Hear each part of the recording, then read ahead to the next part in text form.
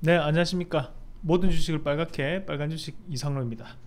자 어, 오늘 그 반도체 관련해서 최근 들어서 이제 가장 많이 빠졌던 섹터군 중에 한 개를 좀 뽑는다면 그리고 우리 시청자분들이 가장 걱정하시는 섹터 하나를 뽑는다면 반도체인 것 같습니다. 그래서 그 반도체 관련된 부분 자체에서 어, 좀 더 우리가 어떻게 해결을 해야 될 것인지 한번 분석을 해보도록 하겠습니다. 그래서 어, 지금 하락했던 원인과 앞으로에 대한 전망까지 한번 알아보는 어, 시간을 좀 가져보겠습니다. 우선 우리가 좀 봐야 되는 것이 이 반도체에 대한 하락을 나타내는 가장 큰 이유는 뭘까? 일단은 이제 중국에 대한 부분이라고 먼저 봐야 되겠죠.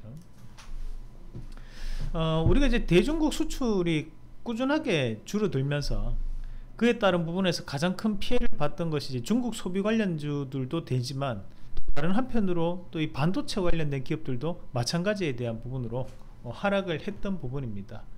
어, 지금 이제 우리가 작년 9월 달에 중국과에 대한 수출이 가장 높게 형성됐을 때 반도체도 가장 높게 좀 형성되는 모습을 보였습니다 자, 그 이후로 현재 이제 반도체는 꾸준하게 하락을 하는 뭐 모습이 좀 나타나고 일부 반등은 또 좀 나타났었지만 그리고 이제 4월달 같은 경우에 또 다시 한 번 더 바닥을 좀 찍는 그 지금 이제 반도체가 가장 낮게 형성됐던 수출이 이제 1월달에 한번 1월 2월이죠. 2월 2월은 근데 이제 조업 일수가 작기 때문에 제외를 하고 그러면 이제 1월 달로 봐야 되는데 자 1월 달에 이제 바닥을 다지고 지금 이제 서서히 4월달까지는 서서히 올라오는 모습들이 나타났다 그죠?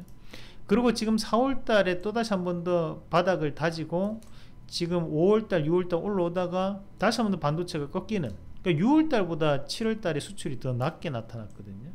그러니까 지금 이제 중국에 대한 수출이 줄면서 지금 반도체에 대한 업황 자체도 쉽게 회복되지 못하고 있다. 자 이 우리가 수출 동향을 보면서 봐야 되는 것이 결국 어, 지금 현재 반도체가 1월달과 2월달 그리고 4월달에 바닥을 다지고 이제는 기저 효과로 넘어간다고 생각했는데 어 5월 7월달 보니까 이번에 생각보다 좀 더 많이 수출 비중이 낮아졌다는 거죠. 6월달보다도 적게 했거든요. 요건 이제 지난 시간에 우리가 공부를 했던 겁니다. 그죠? 적어도 6월달보다는 많이 나와야 된다. 작년 7월달만큼은 안 나오겠지만 그죠? 작년 7월달만큼 안 나오겠지만 대신에 적어도 6월달보다는 많이 해야 된다고 했는데 6월달보다도 적었어요. 그렇다 보니 반도체가 다시 한번 더 출렁거리는 모습이 나타났다는 겁니다. 실질적으로 그러면 앞으로 앞으로 그러면 드라마틱하게 이 반도체에 대한 수출이 늘어날 수 있겠느냐? 자 그걸 또 한번 봐야 될 것 같아요. 지금 중국에 대한 수출에 대한 비중이 꾸준하게 줄고 있습니다 대신에 미국에 대한 수출 비중은 늘고 있는 상황입니다. 과거에 이제 중국에 가장 많은 수출 비중을 차지했던 것이 약 26%까지 차지했어요. 그 지금 이제 이게 줄어가지고 17%까지 내려왔거든요. 미국에 대한 수출 비중이 현재 16에서 17% 왔다 갔다 합니다. 이제 미국도 거의 근접한 상황까지 왔습니다 그러면 이제 후반기 하반기 전략을 보더라도 9월달부터 이어져 올 수 있는 부분 자체에서도 미국과의 대미 무역에 대한 부분 자체 좀 더 확장될 수 있지만 어, 대중무역에 대한 부분 자체는 조금 제한될 수 있다는 거죠. 우리가 기대하는 것은 100이지만 그 100만큼을 만족시켜주지 못할 가능성이 높다라고 저는 봅니다. 음. 지금도 이제 우리가 봐야 되는 것이 한미일 정례회의를 한 달에 한 번씩 하겠다. 결국은 이 한미일의 어, 척점을 두고 있는 것은 이제 북중로거든요.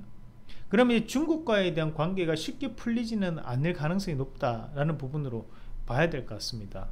지금 미국도 이제 기술에 대한 부분 자체를 규제를 하겠다 중국 쪽에 들어가는 기술에 대해서 그런 얘기를 하고 있는 과정이기 때문에 반도체 업황 자체가 지금까지 나온 걸로는 좋지 않은 그런 상황들입니다.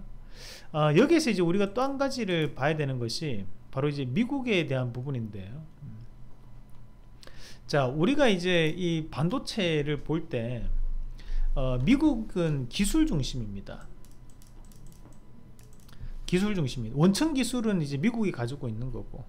그럼 거기에 따른 부분에서 생산은 메모리에 대한 생산은 우리나라 대한민국 비메모리에 대한 생산은 대만이죠. 그러면 이제 거기에 대한 원소재 소재에 대한 사업은 일본입니다 자 반도체는 이렇게 이제 어, 점유율 자체가 이제 정해져 있는 어, 부분입니다. 그런데 이제 지금 현재는 이제 미국이 이 기술뿐만이 아니라 본인들 영토에 생산도 하겠다라는 거거든요.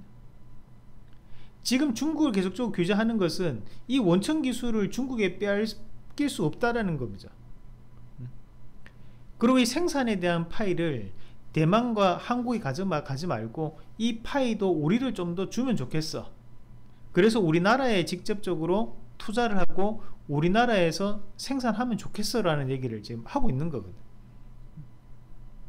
자 그에 따른 부분 자체에서 우리는 이제 그 거기에 따른 상쇄할 수 있는 여건이 바로 중국이라는 부분인데 중국 수출에 대한 부분인데 그게 지금 현재는 규제가 되고 있는 상황이라고 봐야 됩니다 그러면 이 부분 자체는 이미 반도체는 이런 최악에 대한 상황들이 주가에는 반영되는 과정이라고 봐야 되겠죠.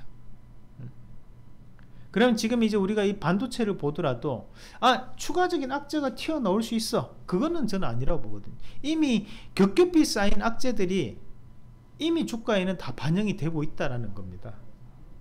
그럼 지금부터 이제 봐야 되는 것은 뭐냐 그럼 앞으로 대표님 이 반도체 업황이 좀 더 좋아질 수 있는 여건은 없습니까 자 거기에 대한 포커스를 맞춰야 된다고 봐요 자 우리가 FOMC 회의 일정을 잠시 한번 같이 봐야 될 것 같습니다 이번에 반도체 관련된 기업들이 일부 반등이 나타났는데 왜 나타났습니까? 물가 상승률이 예상치보다 하회했다는 거예요. 그런데 왜 그게 기술주가 반등 나올까? 반도체 왜 반등 나왔을까? 자, 아, 물가 상승률이 안 올랐기 때문에 금리 인상을 할 수 있는 명분이 없네? 금리는 뭐예요? 금리는 이자입니다. 자, 이자가 높아지면 기술주에 대한 투자는 줄어들 수밖에 없어요. 이자가 낮아지면 투자가 늘어납니다. 우리나라도 마찬가지잖아요. 금리를 올리면 올릴수록 부동산 경기가 죽죠. 금리를 낮추면 낮출수록 부동산 경기 살아납니다. 마찬가지라는 거죠. FOMC 회의가 9월 19일에서 20일인데 이때 경제 전망을 발표합니다. 점도표를 공개를 합니다. 금리 인상을 하는 것보다는 물가 상승률 보니까 금리 인상을 안 할 것 같아. 동결할 것 같아. 자 그런 상황 자체가 좀 더 확보되다 보니 어? 야 반도체는 글로벌적인 부분 봤을 때 앞으로도 성장 사업 아니야? 이 정도 투자는 이루어질 수 있는 관점인 같은데 라는 기저효과가 상승을 현재 만들고 있다고 봐요 그러면 대표님 반도체 관련된 기업들이 지금은 조금씩 올라간다고 보는 겁니까? 네 맞습니다 조금씩 올라간다고 봅니다 대신에 우리가 이 반도체 섹터의 종목이 우리나라에 제일 많습니다.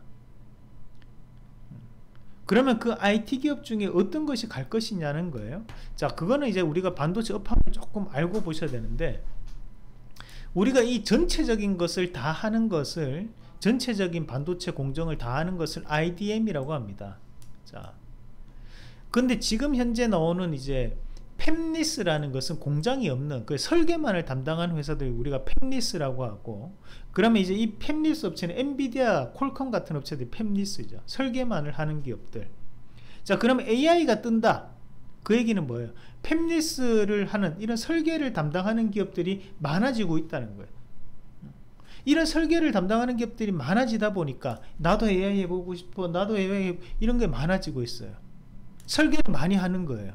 이렇게 이렇게 설계해 주세요. 이렇게 이렇게 설계해 주세요. 그럼 이게 많아지다 보니까 당연히 어떤 사업이 잘 될 것 같아요. 여기 이 팹리스가 많아지다 보니까 당연히 파운드리가 많아지는 거예요, 지금. 응? 생산을 해야 되는 기업들이 많아지는 거죠. 우리가 이것을 전공정 기업이라고 합니다. 파운드리 기업들을. 그러면 이 전공정 기업들이 많아지는 과정 안에 현재 있다 보니까 지금 현재 시장에서 반도체 관련된 기업들이 이런 전공정 바로 파운드리 기업들이 많아 지금 현재는 실적이 늘어날 수 있는 여건이라는 거예요.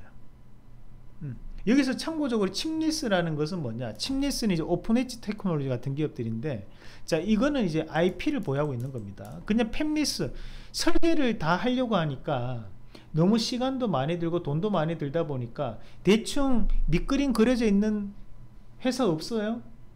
밑그림 우리가 AI 관련해서 기본적으로 도면이 있을 건데 그 도면을 얘네들이 그걸 지적재산권을 파는 거예요. 그러면 거기 기본적으로 우리가 뭐 만약 풍화를 그리겠다. 그러면 오른쪽에 나무 한 그루 있는 도화지에 나무 한 그루 있는 그림을 사고 싶어요. 이 나무를 그리려면 시간이 들고 돈이 드니까 이 도화지가 있으면 도화지에 미리 나무 한 그루가 그려져 있는 겁니다. 그러니까 이걸 사는 거예요. 그게 이제 침리스라 생각하시면 돼요. 기본적으로 그려져 있는 그림. 그러니까 여기서 팸리스는 나머지를 이제 그리는 거죠. 그리고 나면 이거를 색칠해 주세요 하면 이제 그걸 생산하는 기업한테 넘기는 겁니다. 이쁘게 색칠해 가지고 만들어내는 거죠. 뚝딱뚝딱뚝딱. 그 상품화를 하기 전 과정을 우리 후공정이라고 하는 거고 패키징 테스트가 바로 이 후공정에 포함되는 기업입니다. 그래서 지금 현재는 이런 전공정이 좀 더 각광받을 수밖에 없는 시점이다 라는 거예요. 그럼 이런 전공정 관련된 기업들이 어떤 기업들이 있느냐 결국에는 지금 현재 글로벌적인 부분을 봤을 때는 TSMC라는 기업이 있는 거고 자, 국내 같은 경우에도 이런 전공정 안에 전공정은 상당히 많은 기업들이 여기에 존재를 합니다. 그 대부분의 여러분들이 아는 기업들이 전공정 관련된 기업들이 많아요. 그러면 여기에 따라서 이제 추가적인 투자가 이루어질 수 있는 파운드리 기업들, 뭐 지금 최근에 이제 넣을 수 있는 기업들, 뭐 보면 엘오티베큠이라든지 어, 또 그런 기업들도 이제 우리가 식각 또는 이제 세정 장비 기업들이 거기도 다 이 파운드리 공정 안에 바로 이 전공정 8대 공정 안에 포함되는 다 기업들이죠. 주성 엔지니어링도 마찬가지 여기 포함되는 기업들이죠. 그래서 현재는 이런 전공정 관련된 기업들을 좀 더 눈여겨볼 필요가 있다는 거예요. 음. 지금 현재 이런 팹리스가 상당히 커지고 있다. 시장이 커지고 있다는 거예요. 이 시장이 커지고 있기 때문에 여기에 있는 이 파운드리 관련된 기업들이 바뀔 수 있다는 부분으로 좀 더 포커스를 맞추고 보시면 어떨까. 결국 지금 현재 반도체는 신기술에 대한 부분이 부각받고 있습니다. PIM 반도체라든지 HBM 반도체라든지 또는 DDR5라든지 어, 현재는 이제 추가적인 지금 현재에 나오고 있는 캐시카우가 아닌 새로운 기술에 대한 기대감이 극대화될 수 있는 그러니까 지금 현재 우리가 전공정 소재에 대한 부분 자체는 예전에 국산화 어, 우리가 국산화에 대한 부분으로 진행을 하면서 그 소재 관련된 소재에 대한 국산화를 한번 진행을 해 왔습니다. 그래서 그때 한번 시세가 분출이 되었고 아직까지 이런 장비 관련된 기업들은 수, 분출이 되지 않았습니다. 그래서 저는 이런 전공정 장비 관련된 부분 자체에서 한번 재평가는 나타날 수 있다. 그러나 그에 따른 관련된 기업들도 한번 체크를 해보도록 하겠습니다. 자, 저희가 이제 공략했던 기업들 몇 군데가 있는데 일단 이제 에로티 베큐 자, LT 백큐이 현재 삼성전자가 지분을 보유하고 있다고 말씀드렸습니다. 지금 삼성전자가 7.12% 보유하고 있기 때문에 제우스랑 똑같은 일을 하지만 어, 좀 더 LT 백큐에 대한 상승세가 가파르게 나타날 수 있다는 부분을 말씀을 드렸었고 마찬가지로 이제 이오 테크닉스가 과거에는 반도체 관련돼서 가장 시가총액이 높았습니다. 장비 업체 중에서 레이저 커팅 장비거든요. 그래서 이 기업도 이제 지금 현재 월봉을 보면 월봉에 대한 돌파는 추세에 대한 변화라고 봐야 됩니다. 그래서 좀 더 변화가 이루어질 수 있는 과정이 나타나지 않을까 아, 그리고 이제 프로텍이죠 프로텍. 프로텍 같은 기업들도 현재는 이제 우리가 자회사 자회사가 이제 미나미사가 있어요. 그 업체에 대한 부분 자체에 대한 재평가라든지 또는 이제 프로텍에 대한 bonding 장비에 대한 재평가. 그러니까 이런 기업들이 현재는 주가에 대한 움직임도 좋은 것은 그만큼 어, 지금 현재 수급에 대한 부분 자체도 긍정적으로 작용을 하고 있고 어, 주가도 이제 쉽게 꺼지지 않을 수 있다는 거죠. 그리고 이제 추가적으로 또 봐야 되는 게 우리가 패키징 관련된 기업들은 어, 이제는 이런 물량들이 패키징 쪽으로 조금씩 조금씩 넘어갈 수 있는 상황이기 때문에 조만간 이제 반등은 나온다고 봐요. 그래서 지금 이제 하나 마이크론이라든지 또는 이제 PSK, PSK나 또는 이제 SFA 반도체 자 이런 쪽들도 지금 현재는 다시 한 번 더 바닥을 찍고 돌아설 수 있는 TSE도 마찬가지죠.